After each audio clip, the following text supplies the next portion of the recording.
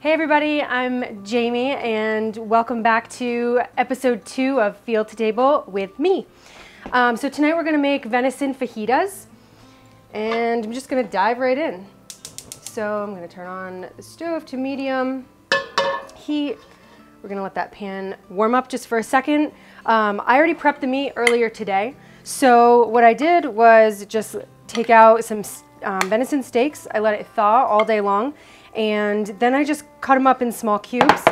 Um, I ended up prepping with onion powder, garlic powder, chili powder, paprika, and then a little bit of salt.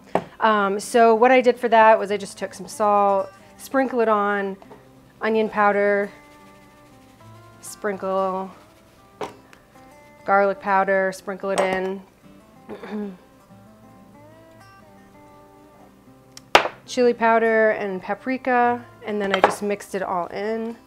I wanted to let it sit so that it had a chance to brine and really have those flavors marry into the meat. Um, so we'll just do a little bit more, mix it in.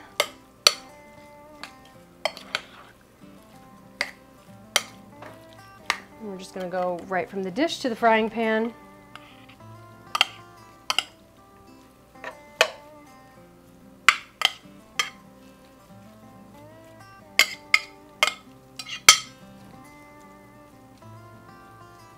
So next step is I made a broccoli slaw earlier today that we're going to put on top of the fajitas.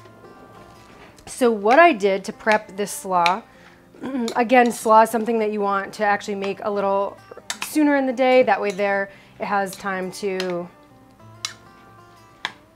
um, have all the flavors kind of set in there, mix in.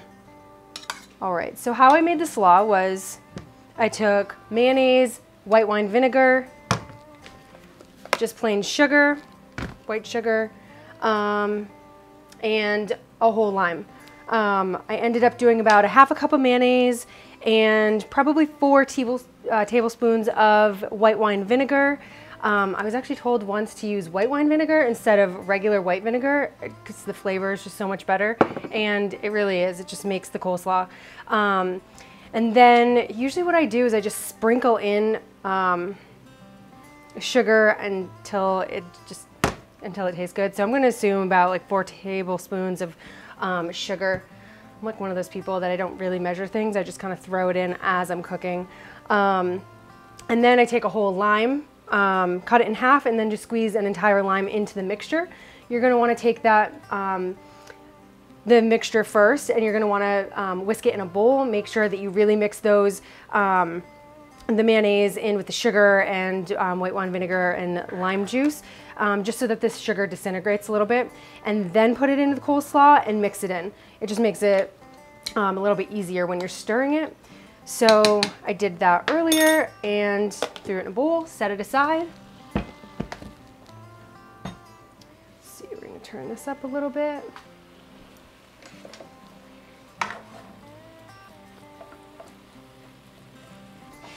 So I already cut up some avocados here. Just gonna add a couple more.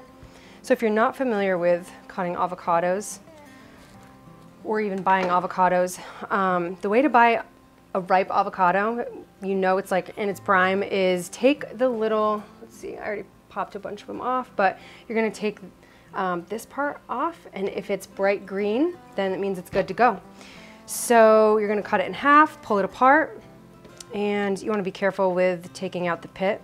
So I just, oops, see some of them come out really easily. You wanna just get the knife in there a little bit and pop that out, and then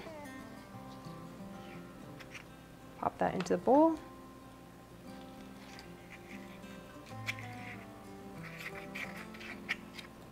I'm not really big on a lot of kitchen gadgets, but I will say the best purchase ever made is this guacamole maker, avocado masher, whatever you want to call it. It's awesome.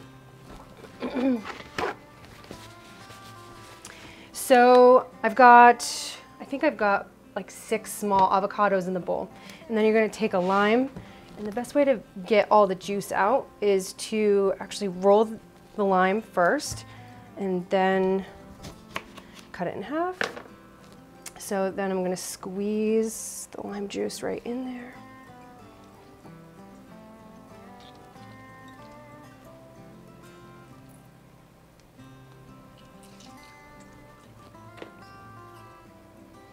I love lime, so I don't go light on the lime.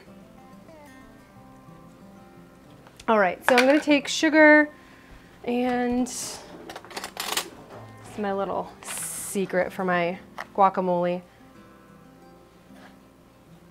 Maybe about two tablespoons to start.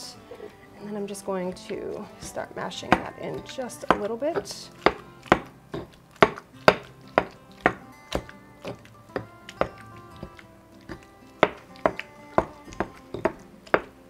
Okay, so after I've got the sugar and the lime juice in there, I'm just going to take some onions.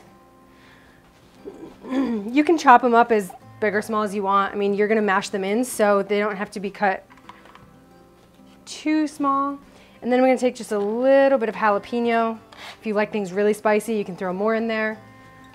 I'm not gonna do a ton just because I've got a toddler who likes to eat guacamole like it's his job.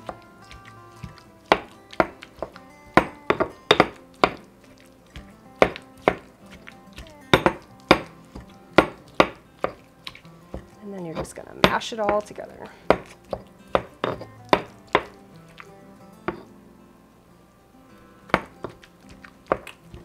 How I figure out if it's good enough or not is to taste test.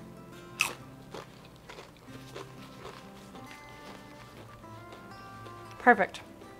Okay, so now that we've got our guacamole, oh, actually forgot one thing. Just a little garnish, A little cilantro on top. I'm not gonna put a ton in or mix it in with the guacamole because we're gonna put it in the fajitas as well. So we'll just add a little bit on top, just to make it look good. All right, let's come over here to our venison.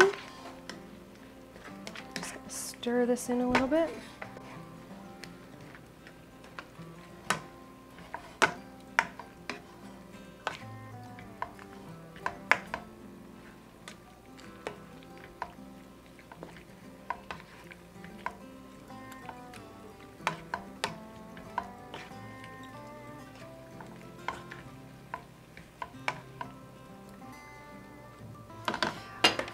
So I like to be a little conservative on the spices when I'm adding it to the meat in, initially. And I can tell now, since it's on the stove, it's just a smell thing. I'm just gonna add some more. I'm gonna do more onion powder. And again, depending on spice and what you like, you can add more chili powder to it. I'm gonna keep the spice down. So I'm just gonna do more garlic powder, onion powder, do more paprika. And then I'll do a little bit of chili powder. I'm just gonna stir that in. We're going to prep our fajitas. I like using these corn tortillas. Another thing you can do if you don't want to make fajitas, if you don't like to eat tacos or fajitas with shells, is just take a pile of corn chips. These are my favorite, as you could probably guess, because they're a hint of lime. Um, and just spread them out on a big cooking sheet and then start throwing all of your, top, um, your toppings over that. all right, so this is almost done. Just give it a couple more minutes. So one thing you want to avoid when you're using these corn tortillas is you don't want your meat or anything to be too watery because then they'll just fall apart. So while we're waiting for this to finish up, I just pulled apart some of the cilantro that we're going to throw on our fajitas. And it looks like this is just about done. So I'm going to finish this up by making our fajitas.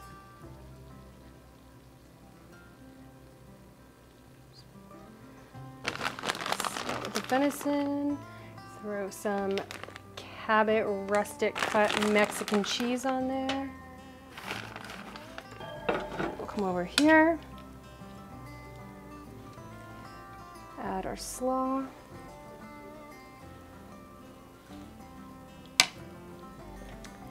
Then we'll take guacamole, sour cream, which again is Cabot, if you can't tell. Sporting Local, love our Cabot Creamery. Then we're going to top it off with cilantro. And we'll do a squeeze of lime. Why not?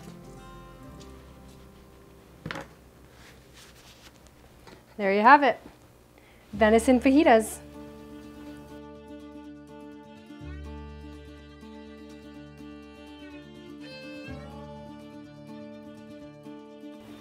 Thanks for watching this episode of Field to Table with me, Jamie. And if you liked it, make sure to hit like, subscribe, and follow all of our social channels.